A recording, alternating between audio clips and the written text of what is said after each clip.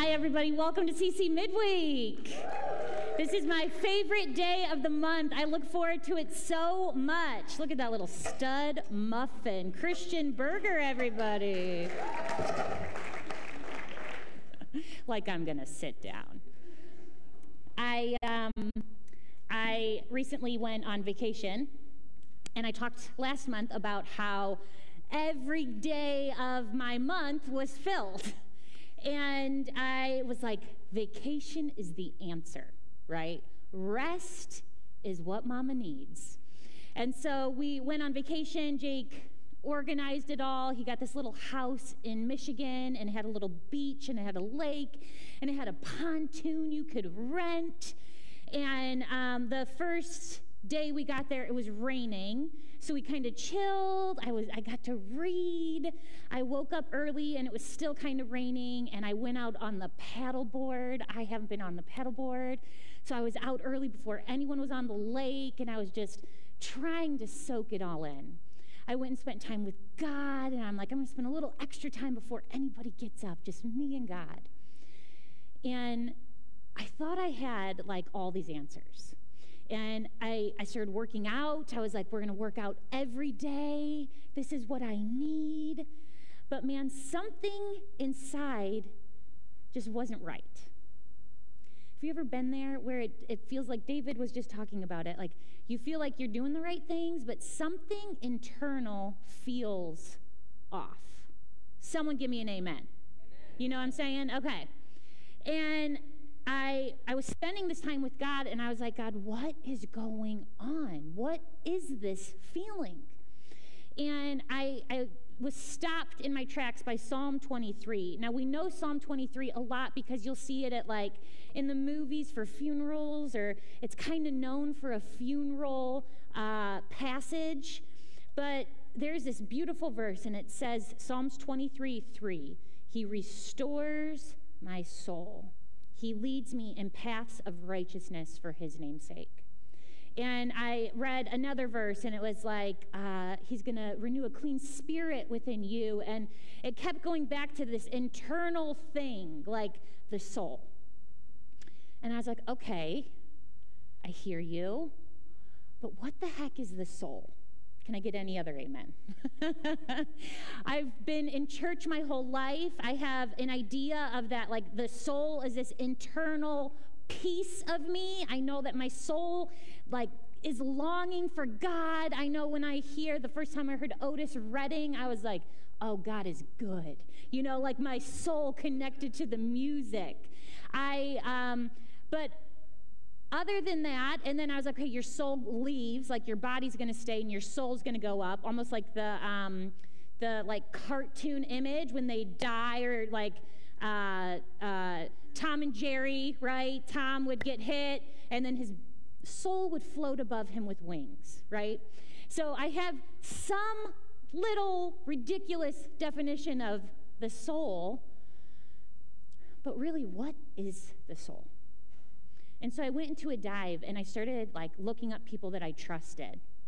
I started looking in scripture, like what does the scripture have to say about it? And Dallas Willard, he has a phenomenal definition. I think through this sermon and Sunday sermon, you're going to hear a lot from Dallas Willard. You're going to hear a lot from Louie Giglio. And um, uh, I forget the woman's name. I'm reading her book right now. I'll give her credit Sunday. um, but I want to give credit where it's due because it's not all my ideas. So, Dallas Willard, he says that the soul is our internal being, and it's made up of more than just one part. It's made up of our mind. So, our thoughts and our emotions are part of our soul. It's made up of our will, which is like our intent. Like, what are my intentions for my family? What are my intentions with God? What are my intentions? That is our will. And then the soul is also made up of your body. It's the part where uh, you have body language, right? Jacob look at me sometimes we're in a fight and he's like, Why are you looking at me like that? And I'm like, Like what? You know? Like I couldn't even hide it because it's it's the body language of the soul, and it's your choices. So the soul is not just one thing, it's, it's all of your being. It's all of who you are internally.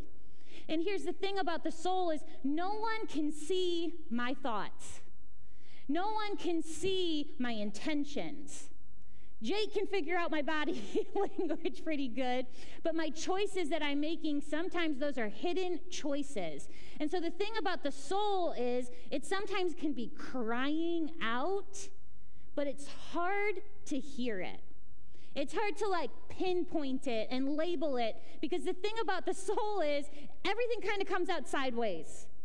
Uh, it comes out through our emotions and it comes out through our relationships and it comes out through our choices. And so it's not always easy to pinpoint what was going on. But when I heard this definition of the soul, I was thinking to myself, man, I was taking good care of my body. I was taking good care of that part of my will that had intent because I wanted to know about God. I was seeking Him. But my struggle was with my thought life. See, I think we can have healthy pieces, but the soul craves harmony. The soul craves like a continuity, uh, this integration, so that all of us is working together in the kind of way that brings life, in the kind of way that we feel alive. We feel alive as a person. We feel alive in our relationship with God. We feel alive in our relationship with others. The soul craves this integration. But what happens is when one piece is off, we get symptoms, okay? So I was on vacation and I'm now, my kids are old enough where I'm kind of like, I get made fun of a lot. Like, do not take a picture if you're a mom around my kids, okay? They're like, are you zooming? College kids, you know what I'm talking about? Okay, I do the Zoom, so now I don't Zoom, but I'm at this age where they just they rip on you, okay? And it's all in good nature, it's all fun. But something of my thought life was unhealthy, and I was feeling bad. And when they started teasing me, it wasn't just my kids being fun and silly, it was they don't really want to be around me anymore. And that's what became a voice that I heard but I didn't hear it because I was busy. So it was a voice that was happening, but I wasn't truly paying attention to it outwardly. So internally, we have this voice and I can't wait to talk to you more about this. This part has, is going to be really good. This is going to be Sunday, okay? because the unholy one, I think we think a lot about life of like, God is good, He is at work, but there is also an enemy who is alive, who is real, and who is at work. And I did a deep dive study into what does his voice sound like? Like when he shows up in scripture, what the heck does it sound like? Because if I can't identify what the enemy sounds like and I just soak it all in and just am sitting there, I'm not going to realize it until it's too late and I'm de energized and I'm grouchy and I'm trying to figure life out, but I've already given the enemy a seat at my table. I heard a guy, his name's Louie, and he talked about this idea. And he said that he is a pastor, he, um, he leads passion conference, Passion Church, and it's a huge thing for 20 somethings. Um, for college age kids, high school kids, it'll be like 20,000 Tay. It's like thousands and tens of thousands of people will go to this conference every year. And he said that something happened at church. He's a leader, and leadership is hard. Anyone else got an amen for that one? yeah, leadership's hard. And something happened with someone he was close to, and it caused a deep rift and it caused a deep brokenness, but it was one of those things that it was like it was it had to be private. But Louie was hurt really very bad by it, and his wife was hurt by it. And they were struggling for months and months. And Louie Giglio, one night, he was on his way home and he got a text message that was like the vindication text message. Like whatever had happened, he doesn't say, whatever had happened uh, kind of, I guess, came out in another way. And Louie was vindicated. So he texted one of his best friends who had walked with him through this, helped him spiritually. And he said, Louie probably late 50s, early 60s. He said, took me about a half hour to type the text message because I was putting everything in there. Like, you are never to believe this. I knew this would happen one day. Can you believe this all came out? And he was like, vindication. And he said, I was sitting in the car waiting, and I knew he was gonna, you know, it was gonna be a lengthy text back because we had been living this together and it was finally vindication. And he said he was waiting and he was waiting. And then he got a text and he said he could see like the completion of it without even opening it. So he's like, oh, he forgot to type the rest. So he's still going to be typing. So he's like, so I waited. I didn't even read what it said. I just waited. And he waited.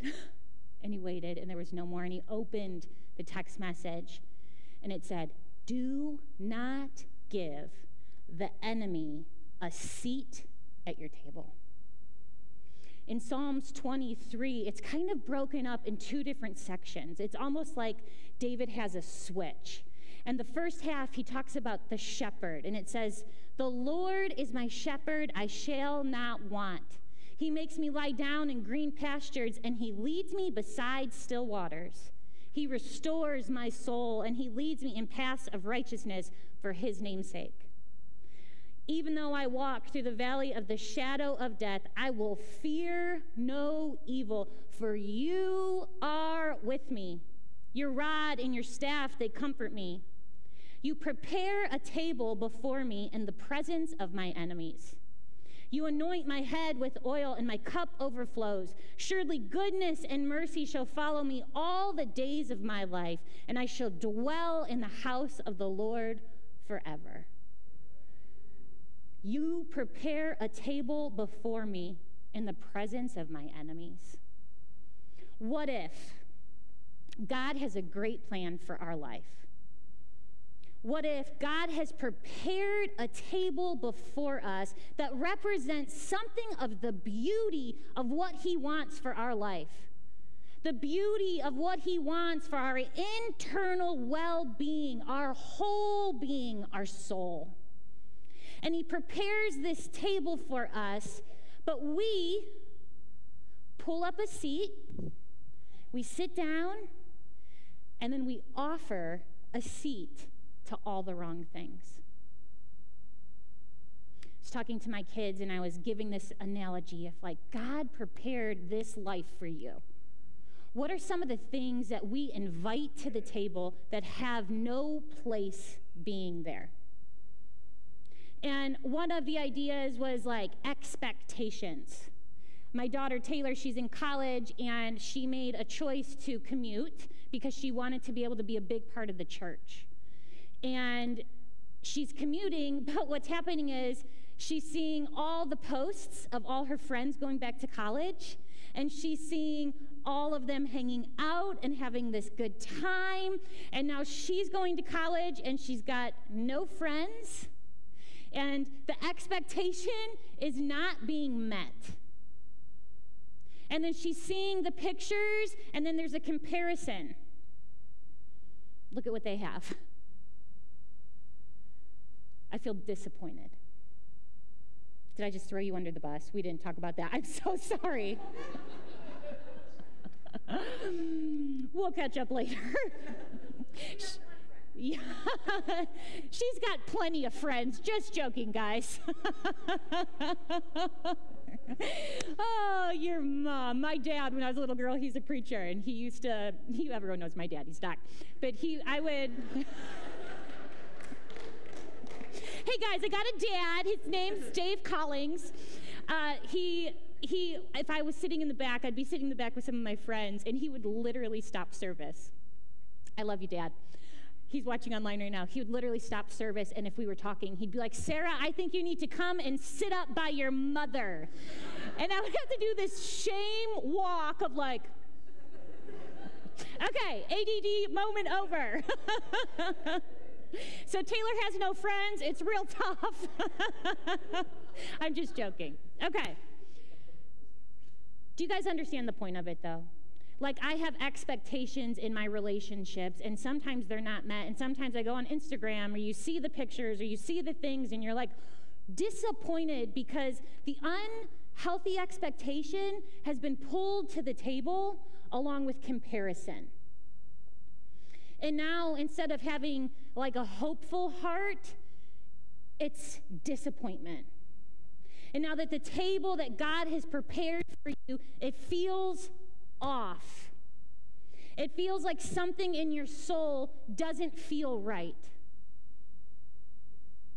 There's the idea also of, um, of being a people pleaser.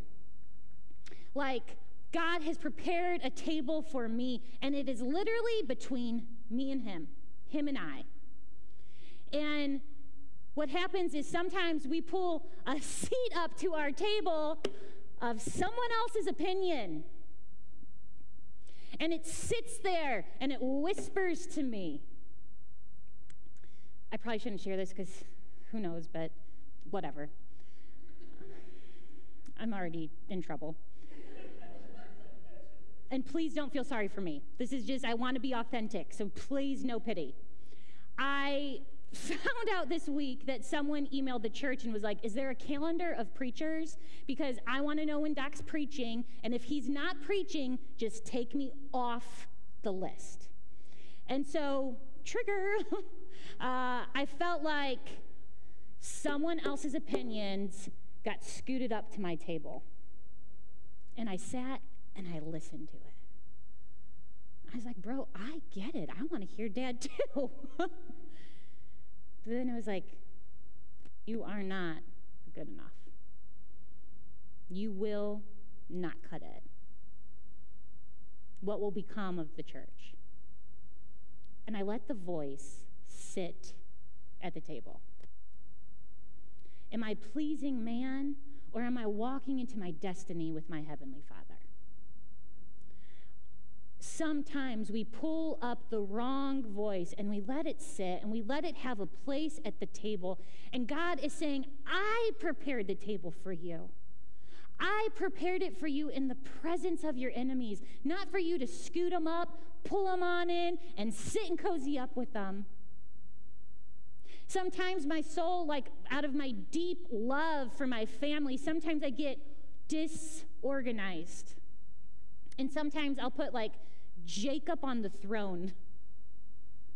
And I'm seeking all my affirmation. I'm seeking all the things that I need as a woman from my husband. And that's a big toll, okay? Especially for a broken, crazy lady like I. That is a lot to ask of one man. And then when he doesn't meet it, I'm mad, right? Anyone know how that feels? Has anyone ever disorganized the place at the table. And you've put someone in front when there's only one throne. There's only one seat, there's one head, and that is our Father who loves you. It is our Father who, no matter what, will fill the need of my heart. And I do not need to look for the affirmation or the misplacement. Sometimes I think this is, um, it's, uh, the victim, where my soul's hurt. Maybe there's been trauma. Maybe there's been things. But I pull the seat of the victim up and say, Sit down, baby. You want a french fry? you know? Here's some steak. And I, I don't take life and live it the way that God has called me to because I'm playing a card of no control, of poor me. And it's not the table that my Heavenly Father has prepared for me. Can I get an amen? There is a soul within us, and it is alive. It is a living being. It makes up everything that we are. Everything that we are is our soul, and it's living. So we either can feed it and make it healthy, or man, can we neglect it and let it wither? In the book I'm reading from this woman that I forget her name and the name of the book, so it's very helpful for you. She talks about this idea of what are the symptoms of a healthy soul. And I sat down and I thought for myself, what are the symptoms of a healthy soul for me? And I wrote, um, like, there's a lightness. Anyone have the breathing, like, where you just can't catch your breath? Like, sometimes that breath. Like, for me, when, my, when it is well with my soul, I breathe at ease. There's a lightness. For me, there is a joy. You got the book? this is my partner. Okay, it's called Discovering Soul Care by Mindy Caliguire. She says uh, there's a joy about it. Here's what here's some of her definition. A healthy soul, the symptoms are love, joy, and receiving. Giving and receiving. Did everyone hear that? Grace, generosity of spirit, peace, ability to trust. Uh-oh. Discernment, humility, creativity, vision man, creativity and vision, something comes alive in me when my soul is healthy. Balance and focus. But here's the symptoms of an unhealthy soul self absorption, shame. Have you ever invited shame of every wrong thing you've ever done to come sit at the table with you? Apathy, toxic anger, physical fatigue, isolation, a stronger temptation to sin, drivenness. I also want to add laziness, feeling of desperation, panic, insecurity, callousness, a judgmental attitude, cynicism, and a lack of desire for God. I want you to sit and, if you can, think about these two questions. What are the symptoms of a healthy soul for you? For me, it's joy, for me, it's a lightness of spirit. For me, it's I can handle things and I want to engage. I want to be a part. I get excited about the vision and the creativity of what we can do in my home and what we can do in the church. What does a healthy soul look like for you? What are the symptoms? And then what are the symptoms of an unhealthy soul? For me, I sat and I thought, and I was like, okay, I get depressed. I get lazier. Um, I control. She's real fun to be around, folks. real treat. But there are symptoms of discontent in my heart when my soul is off, when it's not firing, when it's not healthy in all the aspects of how God created us. And so I want to ask you, what are the symptoms of yours? I was looking back at Psalms 23, and I saw it with fresh eyes, and I'd love to share what I saw. Psalms 23 is written by David. David's a shepherd. He was a shepherd. He got chosen to be king. He became king, but there was a lot of heartache, there was a lot of pain, and um, then he became king and he reigned. And so there was like his life was never super smooth. And as I was reading Psalms 23, a lot of scholars will break it up as like this shepherd section and then this host section. Like he talks about God's preparing a table before you. And I saw it with fresh eyes of like, no, this is David thinking about his life. Like part of me believes Psalms 23 is David's going back to the beginning See, he says, The Lord is my shepherd, but David was a shepherd boy, and so he knows the, the job of a shepherd. And he's sitting and he's thinking about what, what his life was like. And he says, The Lord is my shepherd, I shall not want. He makes me lie down in green pastures, and he leads me beside still waters. I imagine David thinking about those times when those sheep were hungry and how God met their need how he uh, restored something inside of David because David's own family never chose him. In 1 Samuel 17, David is out in the field being a shepherd. And a prophet comes to David's family and he says, uh, Hey, I want to see all your sons. And David's dad brings seven of them and never even invites David to the table. And God is very clear that none of these boys are the man that is going to be the next king. And so this prophet says to Jesse, David said, he said, Is this all your sons? And Jesse says, No, I've got one more. And he's like, Well, go get him. And they send a servant. And in my mind's eye, I see the servant running and he's screaming, David, David, David. And David is sitting with his sheep and he's taking care of them. And, and he goes and he sees this prophet. When his own family did not invite him to the table, God found him. God brought him in. And David shows up in this room, and the prophet's there, and God speaks loudly and says, This is my son. Anoint him with oil. And David's now saying, God prepares a table before me in the presence of my enemies, and he anointed my head with oil. God chose me. He prepared a future for me that I had no idea, but because I am chosen, he anointed me with oil. And I think about this man now looking back on his life, writing Psalms 23, and putting his perspective in who God is. And I think, what a healthy soul. What a healthy soul that can see God every step of his life. Some of the enemies at our table are the trauma and the pain and the hurt of life. And it's hard to see God in those moments because we have an idea of who God is and how he should be. And when he doesn't fit what we think he should be, there's a true ache in our soul. But David's looking back on his life, and I feel like he's seeing God like fresh. He's seeing God and he's saying, You set the table before me.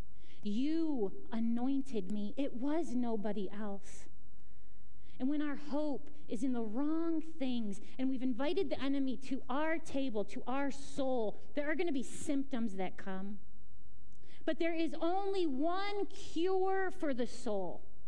And it is turning our focus from our problems, our life, and turning our focus onto the praise and worship of who God is.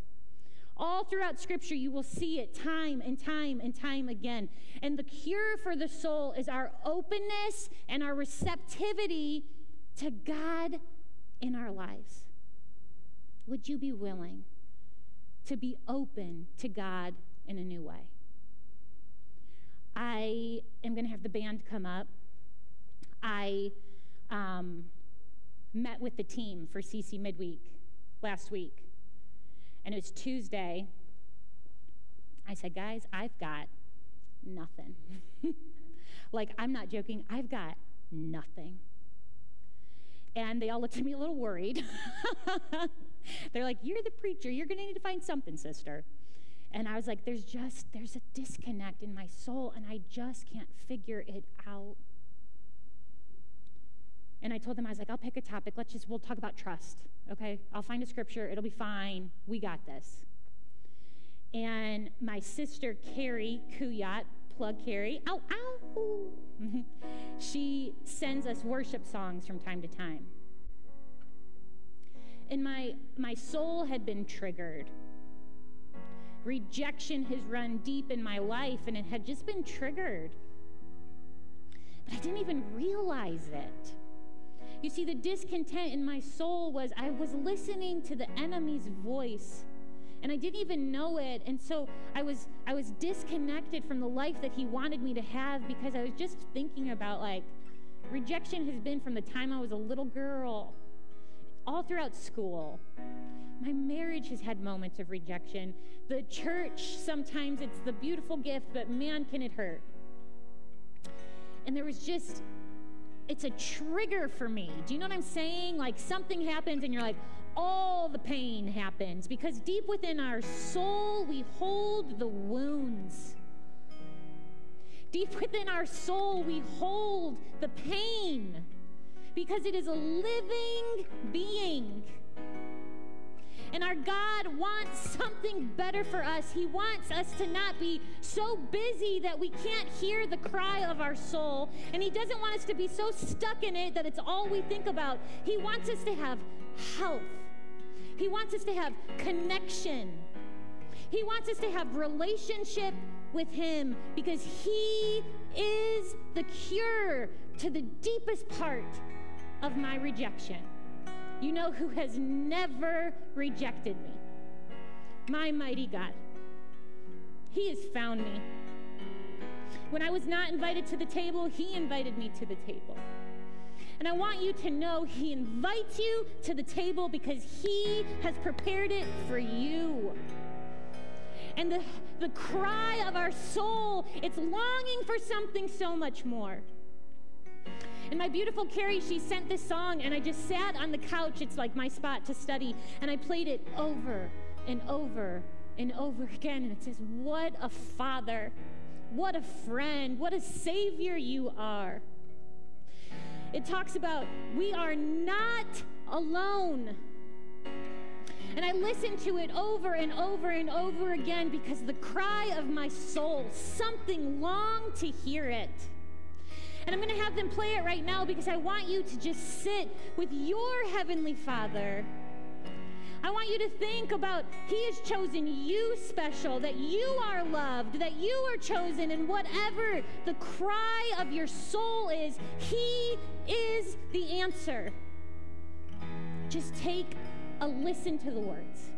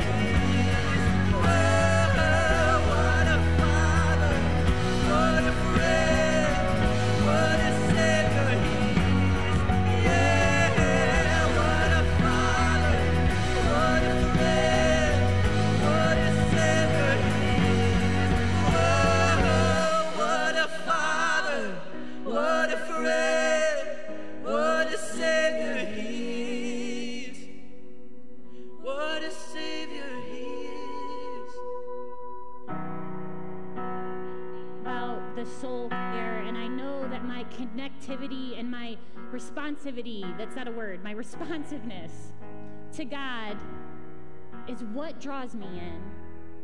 So, church, we are not neglectors of the soul. We are men and women who are loved by a heavenly Father. When my soul cries out, the answer of our soul will always be to turn to God. And when I think about the soul, the soul care, sometimes I'm overwhelmed because it's like, oh, this is a lot of work, so many parts. And then I go back to Psalms 23 and it says, The Lord is my shepherd.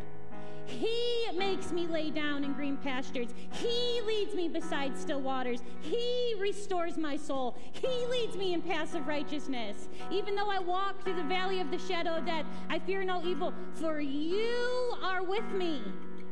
You prepare a table before you. Me, you anoint my head with oil.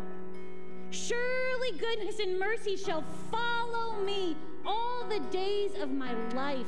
You are not alone. And the cry of our soul needs to be answered with the connection of Christ because he does the heavy lifting.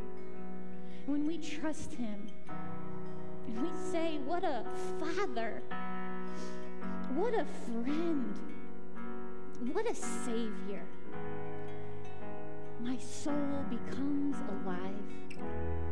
There's a connection when I stop letting the neglect of the soul, when I stop letting the wrong things at my table and start introducing the right things into my life, there is a connection. There is an integration within me where it is alive and it is well with my soul.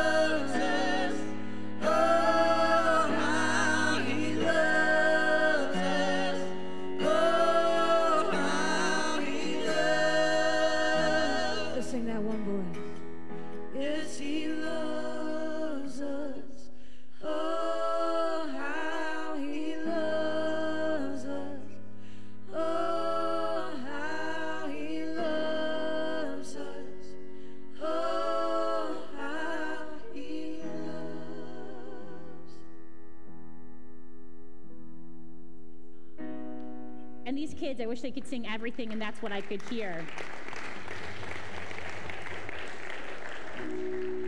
The goal for you is to look within and what are the symptoms of a healthy soul? What are the symptoms of an unhealthy soul? But let's not just be symptom finders, okay? Uh, the goal is not to be like, oh, uh, the symptom of a healthy soul is joy, so I'm going to seek joy, seek joy, seek joy. I'm going to play pickleball all the time because it brings me joy. That's not the goal. The goal is to get to the root the goal is to hear the true cry of the soul. And what is your soul truly longing for? And then going to your Heavenly Father and just asking Him because He is your Father, He is your friend, and He is a great and mighty Savior. Let me pray.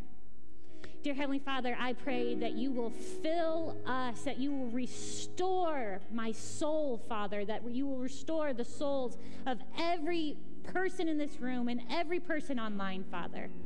I pray where there is a cry, you will hear it. You will help us articulate it, and we will seek you. Because, Father, when we seek you with all our heart, the promise you have made is that we will find you. So I pray that you will put inside of every single person, Father, that they will have a longing, a crying of seeking and knowing you more. In your mighty and awesome Son's name we pray. Amen. Amen. I love you guys. I'll see you Sunday.